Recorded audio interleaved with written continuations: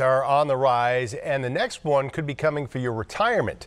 Government watchdogs tell uh, 25 investigates retirement accounts like 401ks are at risk, and they want to overhaul how they're protected. Boston 25's Kerry Kavanaugh found out what you can do right now to protect your personal information and your money.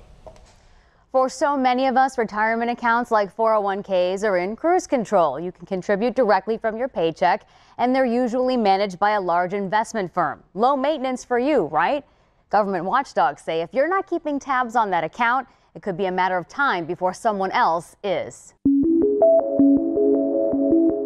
We're talking about uh, not only personal information on each of us that, that may hold a retirement plan, but also actual money. Better protecting your life savings and personal information. That's the goal of a new report from the Government Accountability Office. Nick Marinos is the GAO's Director of IT and Cybersecurity Issues. What did you find when you looked at the security of our retirement? Many of the same things that we fear, as you mentioned, within our social media accounts, our bank accounts are the same risks that we see within the retirement plan industry. Marinos says retirement accounts valued at $6.3 trillion, and the large firms that manage them are big cyber targets.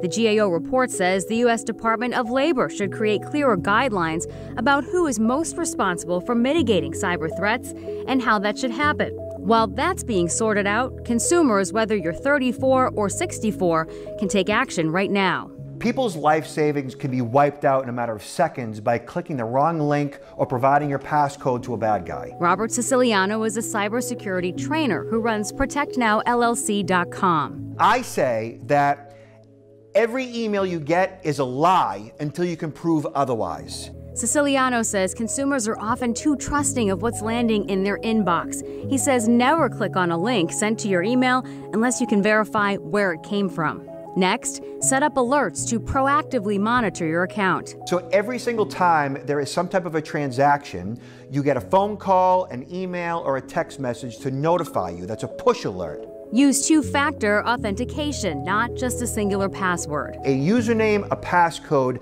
and a one time passcode that you generally get via text message. And be obsessive with your account security. Update your passwords at least once a year. Another option is a biometric authentication using your face or a fingerprint for an added layer of protection beyond a password. We reached out to some of the major retirement management firms to see how they are reacting to this report. To read more from Vanguard and Fidelity, head to our website, boston25news.com. For 25 Investigates, I'm Kerry Cass.